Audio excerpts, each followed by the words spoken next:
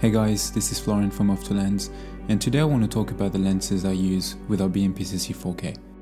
This is a question that I've been asked a lot since I've started posting videos with the camera.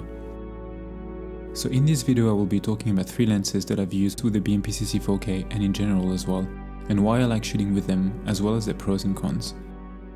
These lenses are from three different brands and I aim a different kind of shooting style and are all under 1000 US dollars. Before I get into it, feel free to subscribe for more videos like this one. The first one is the Lumix 12-35 2.8 Mark 1. I've been using this lens for almost 4 years now, and it has been my favorite lens to use with the original pocket as well as the new one. So if you watched any of our other videos with the BMPCC 4K, they were most likely shot with it. Regarding the pros of this lens, the main feature of this lens for me is the IS, which is essential when shooting with the Pocket 4K and it definitely helps. With this lens you also get a constant aperture of 2.8 which is amazing, and even better now that the BMPCC 4K has great low light performance.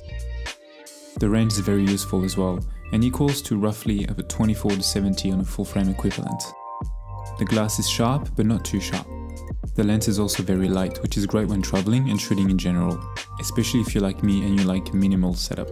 It is also weather sealed, which is always nice, and the overall build quality is good as well. One of the cons is the price.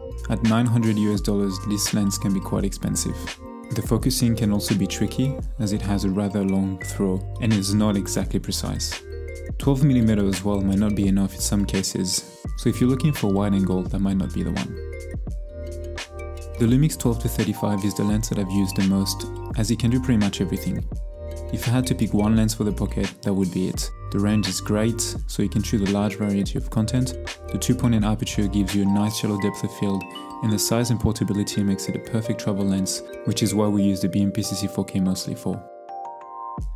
The second lens is the Canon FD 24mm 2.8. This is a vintage lens, so this is a bit special. I bought this one because I also own a 35mm Canon film camera and I was curious to see how it would look on the Pocket 4K, and it looks great. It's perfect for when you get that vintage look but you don't want to break the bank. Regarding the pros of this lens, first of all, the glass is top-notch quality. It's hard to beat a prime when it comes to that. It also gives you this nice vintage organic warm look, which is what I was after when I bought it. The flares are also quite nice.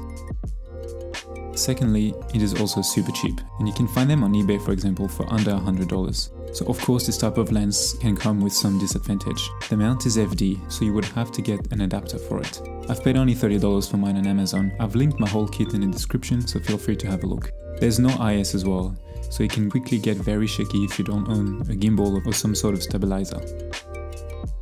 As the sensor of the Pocket 4K is 1.9 and those lenses were made for full frame cameras, it can be hard to go wide. This 24mm gives you roughly a 45mm on a full frame equivalent. Focusing can be tricky, but this also depends on the state of the lens. I would recommend this lens to anyone that want a different look without spending too much.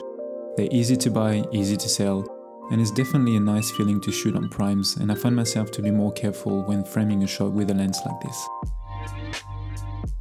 And last but not least the Sigma 18-35 1.8. This lens is a beast. I have been shooting with this lens for more than a year on a regular basis. With different cameras, Blackmagic included, so I'm very much used to it. And I absolutely love it. I haven't actually shot with this one on a Pocket 4K yet, as I do not own the right adapter, but I've shot it a bit since our friend has one. Regarding the pros of this lens, this lens feels like you really have three different primes into one. The build quality is amazing, it is built like a tank. The focus ring is big and smooth and feels great, and the 1.8 makes it perfect for low light situations or for extreme shallow depth of field.